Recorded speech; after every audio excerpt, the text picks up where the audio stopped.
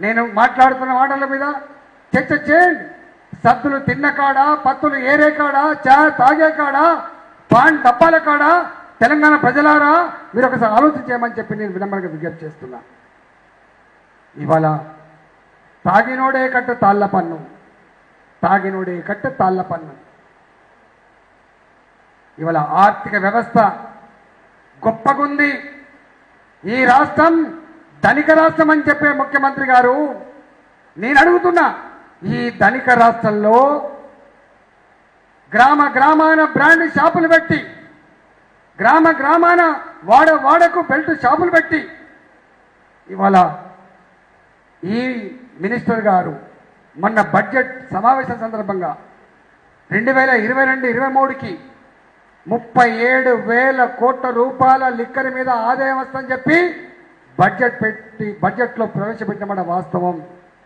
మొన్న మళ్ళీ ధర పెంచిన తర్వాత నాకు తెలిసి నలభై రెండు వేల కోట్లు వస్తాయో నలభై ఐదు వేల కోట్లు వస్తాయో ఈ రాష్ట్ర బడ్జెట్ చివరి అంకానికి ఈ రాష్ట్రంలో తాగుడు ద్వారా పేద ప్రజానికం నుంచి నలభై రెండు వేల కోట్ల రూపాయల నుంచి నలభై ఐదు వేల కోట్ల రూపాయలు ఇవాళ లిక్కర్ ఆదాయాన్ని సమకూర్చుకొని లక్షల మంది ఆడబిడ్డల పుస్తల తాళ్ళు తెగడానికి కారణమవుతున్న వ్యక్తి కేసీఆర్ అవునా కాదా మీరు ఒకసారి ఆలోచన చేయండి.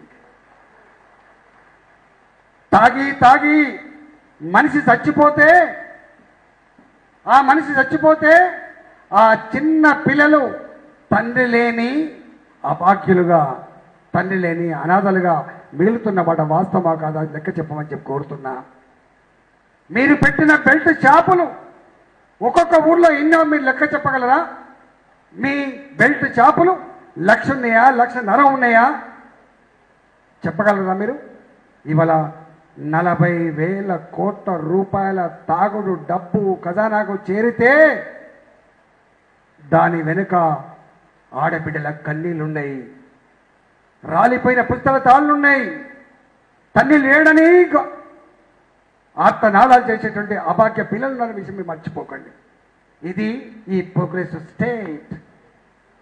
నేను అడుగుతున్నా హైదరాబాద్ విశ్వనగరం హైదరాబాద్ ఐటీ హబ్ హైదరాబాద్ విదేశీ పెట్టుబడుల నిలయం హైదరాబాద్ గ్లోరీ గురించి చాలా గొప్ప చెప్తావు కదా. ఈ హైదరాబాదులో మీరు పెట్టిన పబ్బులలో ముక్కు పచ్చలాడు చిన్నారులు మద్యం తాగి భారతీయ సంస్కృతిని సాంప్రదాయాలు పక్కకు నెట్టి అసహించుకునే పద్ధతుల్లో మనం అసహించుకునే పద్ధతుల్లో అక్కడ చర్యలు జరుగుతూ ఉంటే అవి సోషల్ మీడియాలో చెక్కలు కొడతా ఉంటే ఆ చిన్న పిల్లలు ముక్కు పచ్చలాన్ని అమ్మాయిల మీద అగత్యాలు చేస్తూ ఉంటే అత్యాచారాలు చేస్తూ ఉంటే ఈ విశ్వ నగరం ప్రతిష్ట ఎక్కడ పోయింది ముఖ్యమంత్రి గారు? ఎక్కడ పోయింది హైదరాబాద్ గ్లోరీ ఇవాళ హైదరాబాద్లో అర్ధరాత్రి పూట ఆడపిల్లలు నువ్వు ఉద్యోగం చేసుకోవచ్చని చెప్పి ప్రగల్భాలు పలికినావు కదా? లక్షల కెమెరాలతో ప్రతి ఇంచు మీద సర్వేలెన్స్ ఉందని చెప్పి చెప్పినావు కదా? సి టీములు పెట్టి దేశంలోనే మహిళలకు ఇక్కడంత భద్రత ఎక్కలేదని చెప్పినావు కదా? మరి నీ హైదరాబాద్లో లక్షల టీవీల సాక్షిగా షీ టీముల సాక్షిగా ఇవాళ రోజుకు రెండు మూడు అత్యాచార ఘటనలు వచ్చినప్పుడు ప్రజలు మాత్రం సిగ్గుతో తలదించుకుంటున్నారు. నీవు మాత్రం ఫామ్ హౌస్లో పడుకుంటున్నావు ఏం ధర్మం అని చెప్పి అడుగుతా ఉన్నాం ఏం ధర్మం ఇది? ఇదేనా? రేపు బీఆర్ఎస్ పెట్టి ఇలా ఓట్లు అడుక్కొని గెలిచి ఇవాళ హైదరాబాద్లో జరుగుతున్న విష సంస్కృతి దేశవ్యాప్తంగా అమలు చేసే ప్రయత్నం చేస్తావా? ఇదే దీనికోసమేనా నువ్వు బీఆర్ఎస్ పెట్టేది? దీనికోసమేనా మీరు? రేపు రాజ్యం రావాలని కోరుకునేది ఆలోచించేమని చెప్పి కోరుతున్నాం. ఇవాళ మధ్యాహ్న భోజనం వండే వాళ్ళకి పైసలు లేవు. వారు ఆర్థిక మంత్రిగా ఉన్నారు. వారు ఉన్నారు కానీ నిమిత్త మాత్రం వారికి. అక్కడ కూర్చొని ఎవరికి బిల్లు అంటే వాళ్ళకే ఇవ్వాలి వీరి చేతులు ఏం లేవు ఇవాళ మధ్యాహ్న భోజనం వండే వాళ్ళకు బిల్లులు లేవు. అవుట్ సోర్సింగ్ పనిచేసే వాళ్ళకి బిల్లులు లేవు. నిన్న మొన్నటి వరకు పల్లె ప్రగతి పట్టణ ప్రగతిలో కౌన్సిలర్లు కార్పొరేటర్లు సర్పంచులు ఎంపీటీసీలు బహిష్కరిస్తారని చెప్పి అవమానం అని జరుగుతుందని చెప్పి వాళ్ళ బిల్లులన్నీ మొన్న క్లియర్ చేసింది. ఇవాళ జీతాలు కూడా జీతాలు కూడా. ఒకటో తారీఖున రావు.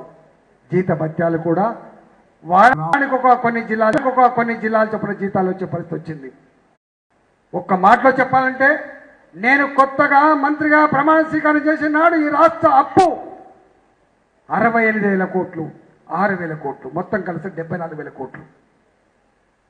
రెండు వేల పద్నాలుగులో ఈ రాష్ట్ర అప్పు వారసత్వంగా డెబ్బై నాలుగు వేల కోట్లు. ఇవాళ అప్పు ఇవాళ అప్పు నాలుగు లక్షల యాభై వేల కోట్ల పైమాట. ఇంకో నలభై యాభై వేల కోట్ల రూపాయలు బిల్లులు చెల్లించాలి. అంటే దాదాపుగా ఐదు ఐదు లక్షల కోట్లు.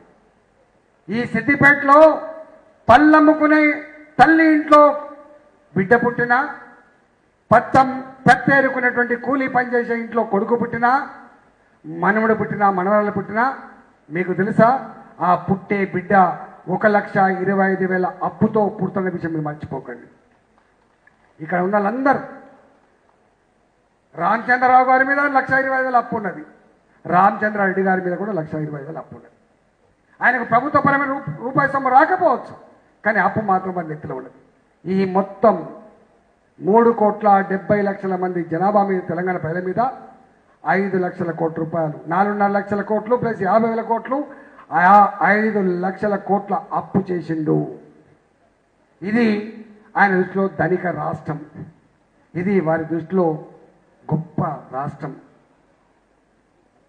మాలాంటి వాళ్ళం ప్రతిపక్షంలో ఉన్నాం కాబట్టి మాట్లాడుతున్నాను మీరు అనవచ్చు కానీ మీరు డిబేట్ పెట్టండి.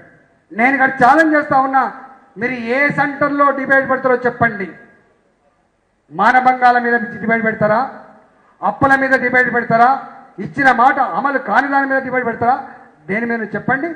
ఎక్కడికంటే అక్కడికి వస్తా. ఎక్కడంటే అక్కడ చర్చపడడానికి సిద్ధంగా ఉండలేదు మీరు వీరు మేం మాట్లాడినాం. మేం మాట్లాడినాం. మేనిఫెస్టోలో అన్నాడు కాంగ్రెస్ పార్టీ. తెలంగాణ గురించి మాట్లాడితే రాస్తే మేమన్నాం మేనిఫెస్టో చిత్తు కాగితం కాదది.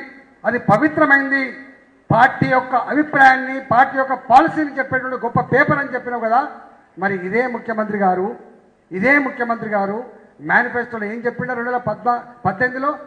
రెండు వేల పద్దెనిమిది మేనిఫెస్టోలో నిరుద్యోగ యువకుల్లారా అండగా నేను మీకు అండగా ఉంటా.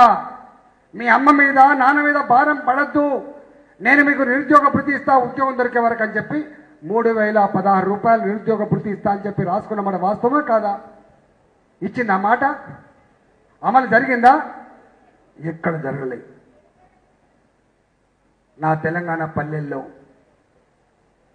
పేదరికంలో ఉన్నవాళ్ళు తిండి సరిగా దొరకక సౌకర్యాలు సరిగా లేక అరవై ఐదేళ్ళు బతుకుతలేరు అని చెప్పిండు.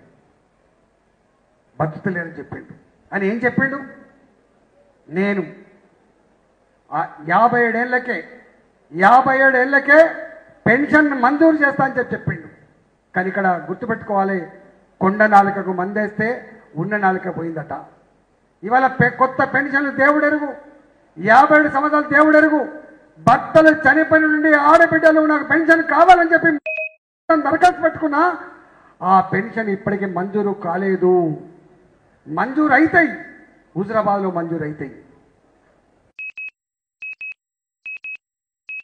లో మంజూరైతే తప్ప ఎక్కడ కూడా మంజూరు కావు.